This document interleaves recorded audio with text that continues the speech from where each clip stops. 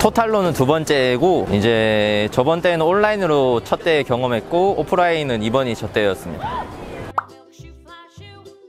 뭐 쉐이커가 찌그러진다거나 어? 평소에 동대문에서 아르바이트를 하는데 선택과 집중 집중하느라 출근을 못했고 뭐 그 정도?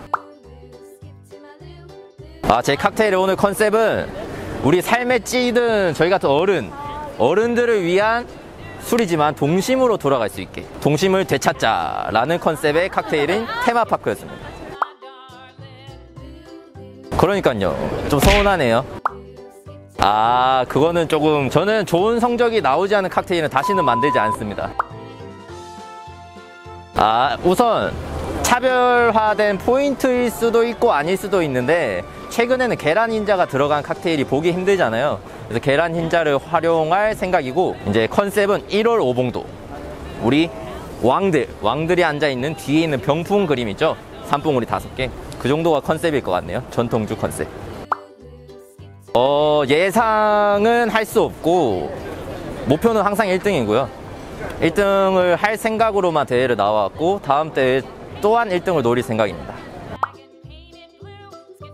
어... 뭐 그런 말이 있잖아요. 식상한 말이긴 한데 천재는 노력하는 자를 이길 수 없고 노력하는 자를 즐기는 자를 이길 수 없다.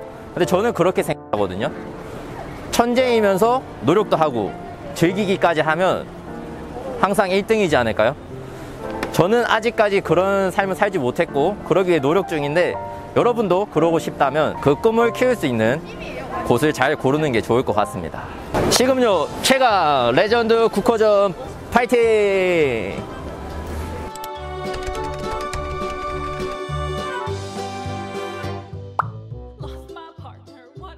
안녕하십니까. 국호전 1학년 2106 어, 21학번 이현민입니다. GCC는 첫 번째 대회, 대회였습니다. 온라인 때 예선에서 합격이 돼서 본선 진출해서 오늘 여기 킨텍스에 와서 네, 진행했습니다. 지금 두 번째입니다.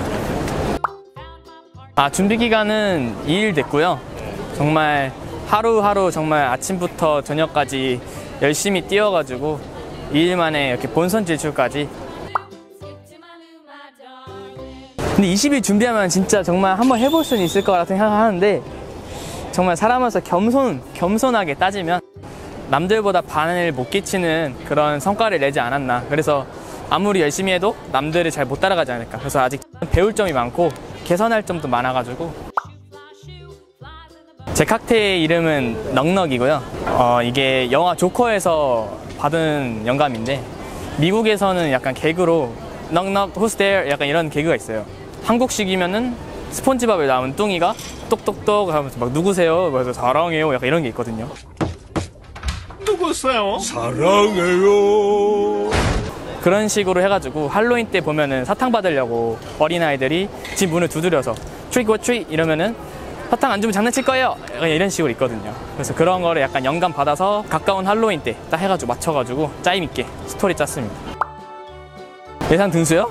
아 제가 숫자 2를 좋아합니다 왜냐면은 성함이 성, 성이 이시기 때문에 숫자 2를 좋아해요 그래서 아마 2등까지는 가지 않을까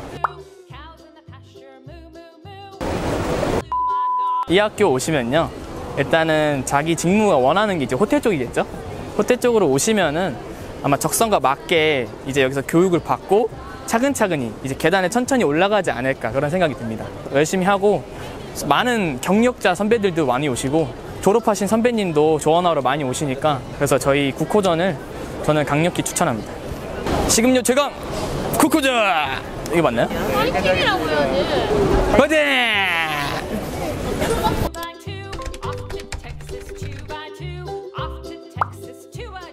오늘 컨셉은 불멍이라고 해서 캠핑을 떠나서 불을 보면서 편안한 시간을 보내는 걸 컨셉으로 잡고 만들었습니다.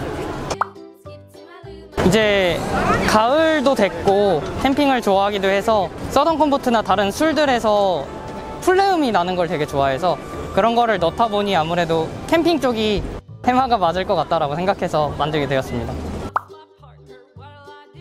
4등도 잘 됐다고는 하는데 솔직한 마음으로는 좀 많이 아쉽네요. 1등까지 노렸는데 4등이 나와서 아쉽지만 앞으로도 노력해서 다음에는 1등 하도록 하겠습니다.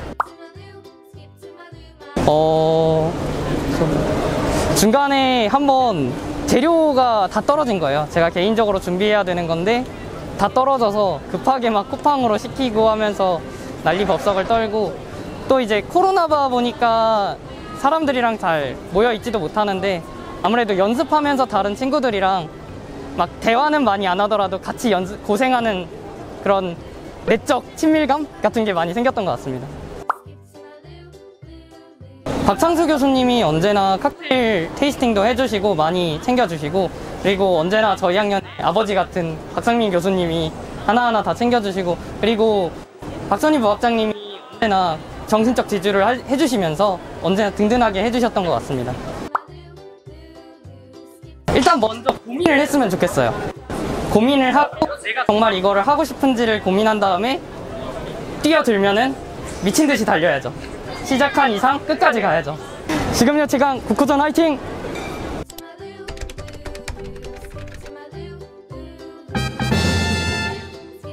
아, 정말 순위권 안에 들 수 있을까 하고 걱정을 많이 했는데 이렇게 1등, 2등 호명됐을 때도 굉장히 기뻤는데 챔피언이라는 소리 듣자마자 눈물이 왈칵 쏟아질 만큼 너무 좋고 행복했습니다.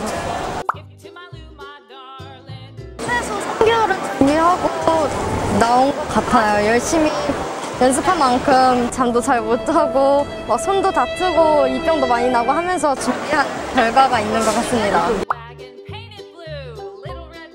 어, 일단 제가 오늘 만든 칵테일은 얼마 전에 올림픽이 끝나기도 했고 그리고 이 대회가 세계적인 대회다 보니까 세계적인 걸 어떻게 표현하고자 할까 생각을 하다가 8차 올림픽을 떠올려서 심사위원분들이나 다른 사람들한테 추억을 회상시켜주고 싶어서 향수의 느낌으로 도주하게 되었습니다.